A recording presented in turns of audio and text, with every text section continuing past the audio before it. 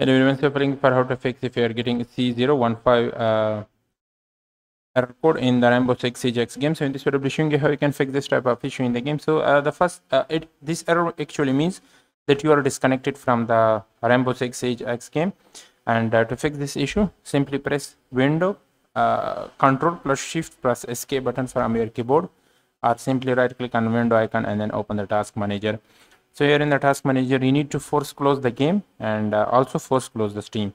And to do it right click on the steam right uh, press on the end task button and then search for the game icon right click on it and then press on the end task button.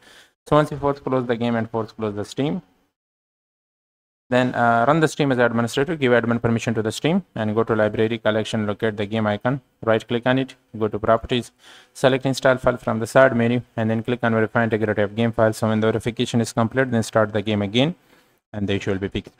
So these are some of the best things to do to fix this type of issue in the game. I hope this video helped you. Subscribe this channel for more informative videos. Thanks for watching and see you in the next video.